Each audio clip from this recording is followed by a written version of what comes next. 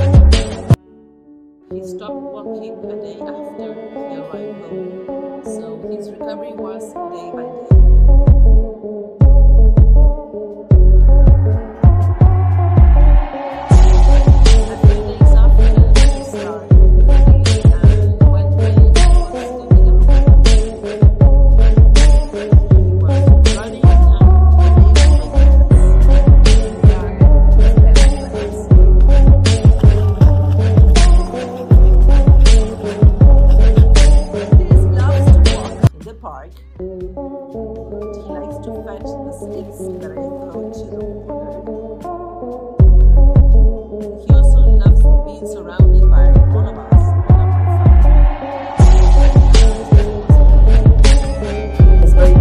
for a dog to live a year on the streets, and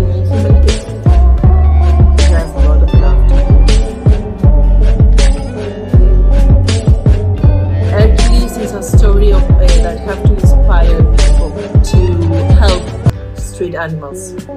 Animals only have us, and they deserve to be helped and to be loved. They are pure love, pure companion, pure friendship. They are the best, and they deserve everything.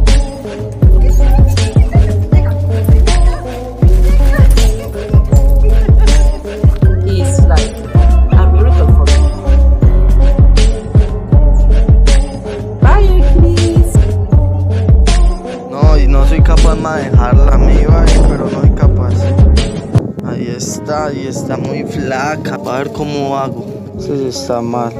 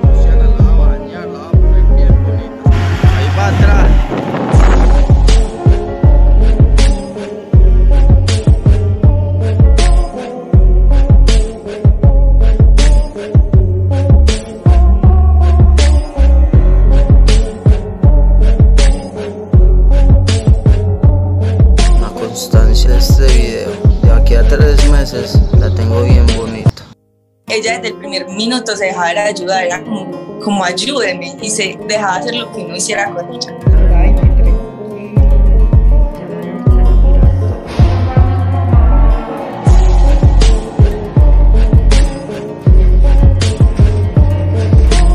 Cuando llegamos nos dijeron que posiblemente la habían puesto a criar y después la habían abandonado. Uno no dormía, porque a nosotros nos daba mucho miedo que de pronto despertáramos que no estuviera.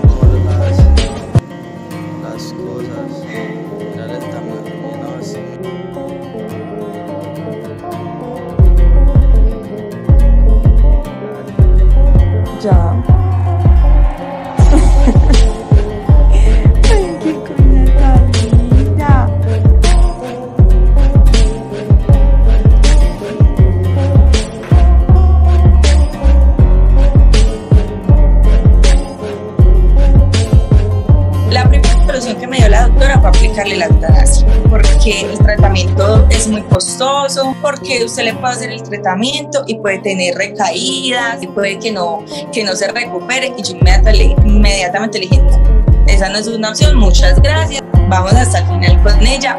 Eso si nosotros le pedíamos mucho a Dios, que que nos la dejara disfrutar ya es recuperada, porque nosotros la veíamos y siempre era el miedo de perderla, de no poderla ver recuperada yo siento que a ella le faltó tanto cariño que ella como que nunca sintió esas caricias.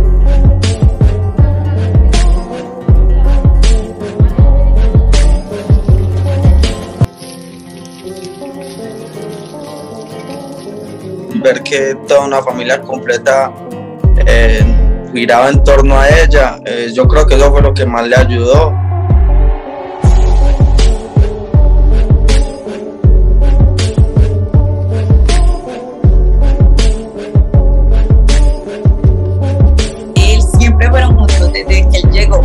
Ya el semblante a ella le cambió.